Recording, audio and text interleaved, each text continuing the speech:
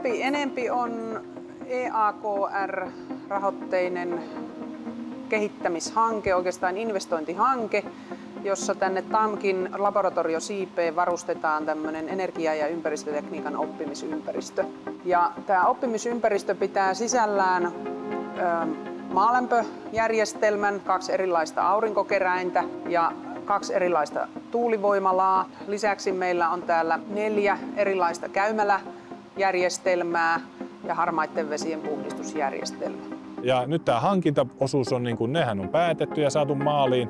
Että se, että meillä on laitteet, niin se ei ole vielä oppimisympäristö. Nyt tämän jälkeen me ruvetaan rakentamaan siihen, että millä lailla nämä otetaan osaksi sitä koulutusta.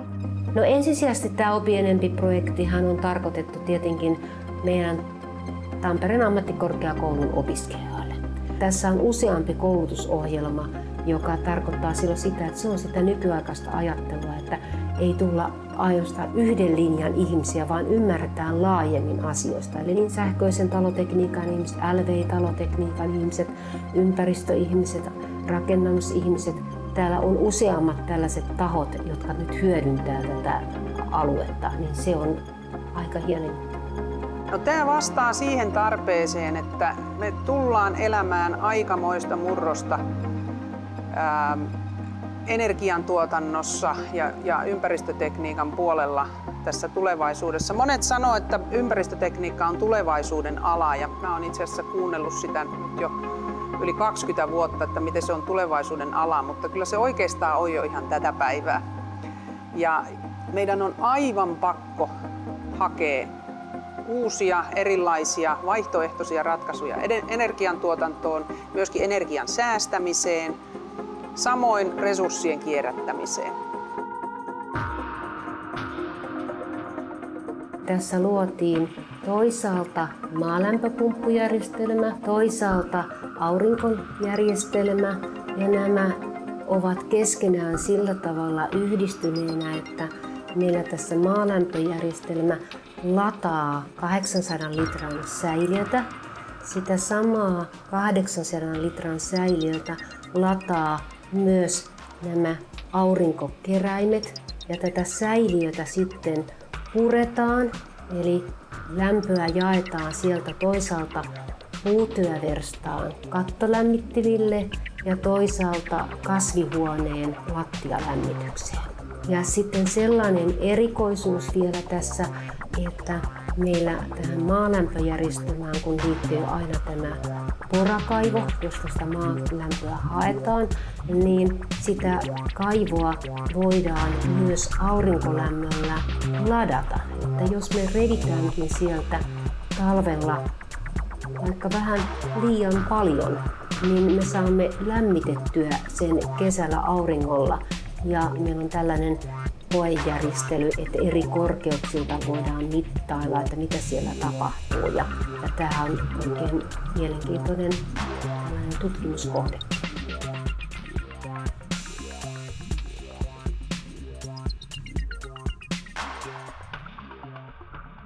Meillä on ensinnäkin kaksi erilaista käymälä istuin- tai järjestelmätyyppiä, jotka käyttävät vettä, mutta käyttävät sitä hyvin vähän. Näistä ensimmäinen on tällainen alipainekäymälä, joka on varmasti tuttu kaikille, jotka ovat junassa matkustaneet tai lentokoneessa tai laivassa. Siinä on ihan jotakuinkin normaalin näköinen istuin, jota käytetään ja kun se vedetään, käynnistyy sähköpumppu, joka imasee sen tyhjäksi tämän käymäläistuimen ja käyttää tässä vain puoli litraa vettä tähän huuhteluun. Sitten toinen äh, tällainen ähm, äh, vettä säästävä ratkaisu on meillä niin sanottu vähävetinen käymälä, joka, joka kauppanimeltään on EcoFlush Toilet. Tämä istuin on erotteleva, eli se erottelee virtsan ja kiinteän tavaran erikseen. Ja niin ikään siihen virtsan huuhteluun se käyttää vain puoli litraa huuhteluvettä. Sitten meillä on kaksi erilaista kuivakäymälä-tyyppiä. Toinen näistä malleista on ihan myynnissäkin oleva kaupallinen versio nimeltä Naturum, jonka saa myöskin virtsan erottelevana ja täällä meillä se on tämmöinen virtsan erotteleva ratkaisu. Me kerätään siitä käymäläistuimesta se virtsa sitten kellariin, missä on virtsankeräysastia erikseen. Tässä se kuivatavara kerätään sitten, siinä on sellainen avattava luukku ja se kerätään siellä käymäläistumen sisässä olevaan astiaan, josta se pitää sitten aika ajoin tyhjentää ja viedä kompostoitavaksi. Sitten toinen kuivakäymälämalli on ihan täysin tällainen uusi malli, joka ei ole vielä edes kaupallisessa käytössä.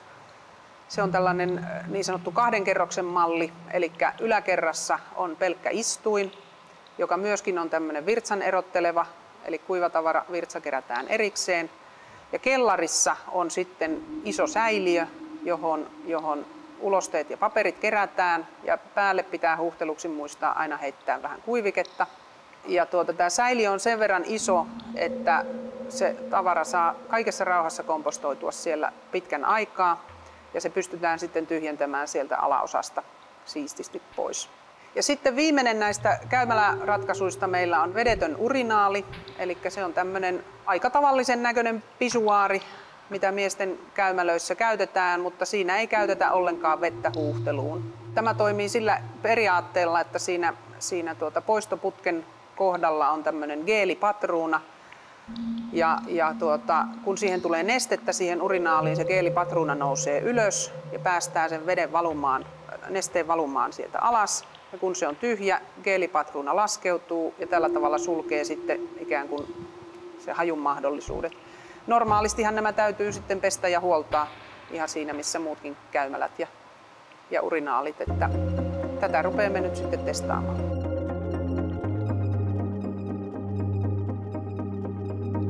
No tänne on tulossa nyt meille sähköpuolelle tuulivoimaloita kaksi kappaletta ja sitten meillä on täällä aurinkokeräjä, joka onkin tuonne ihan vasta asennettu pari päivää sitten. Tämä, joka on tuossa vieressä, niin tämä on uniikki, ainoa Suomessa, jossa tullaan keräämään sekä sähköä että lämpöenergiaa talteen. Siinä on ohjain, joka kääntää tämän peilikuvun aina siihen suuntaan, missä auringonsäteet tulee, eli seuraa aurinkoa. Siis erilainen kuin esimerkiksi tuossa alla olevat noin kiinteä asennetut kiertovesilämmityksen lämmityspaneelit. Ne on aina samassa asennossa ja hyötysuhde ei ole välttämättä niin hyvä. Iso tuulivoimala tulee 18 metrin maston päähän ja siitä saadaan 4 kilowattia sähköä verkkoon tuotettavaksi. Sitten semmoinen pienempi, joka tulee tuon aurinkovoimalan viereen, niin se on semmoinen pystyasentoinen. Kansalaiset ehkä nähnyt liikenneasemilla ja kauppakeskuksissa, niin vastaavan tyyppinen tuote tänne meille tutkimuksiin. Siitä mä ajetaan energiaa sitten akkujärjestelmiin. Eli tämä koko juoni on, on sellainen, että, että kesämökeillä, yksityisasunnoissa, niin niissä lisääntyy tämmöinen 500 muutaman kilowattiin saakka olevat voimalaitokset. Ja tässä yhteydessä me opitaan sitten niistä, että minkälaisia ne on ja miten niitä käytetään, mitä ne tuottaa, kuinka ne pitäisi liittää verkkoon, kuinka niitä ylös pidetään, kaikkia tämmöisiä asioita. Ja siinä kautta se liittyy tähän meidän koulutukseen, kun ajatellaan insinöörejä, jotka sitten kohtaa näitä työmaillaan, että tulee ymmärrystä näiden uusien laitteiden päältä.